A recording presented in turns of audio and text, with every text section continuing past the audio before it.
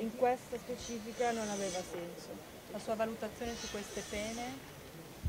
Eh, non mi posso esprimere, giustamente è una scelta del giudice, comunque i fatti sono quelli che si sono accertati e le pene sembrano essere congrue, poi vediamo se faranno appello. C'è stata una diminuzione rispetto alle richieste dei pubblici ministeri legata a che cosa? Ma guardi, questo chieda poi agli avvocati dei, degli imputati, eh, sicuramente adesso usciranno e vi diranno insomma, le loro impressioni c'è sicuramente stato un abbassamento delle, sì, delle pene rispetto a quelle chieste dal, dal pubblico ministero.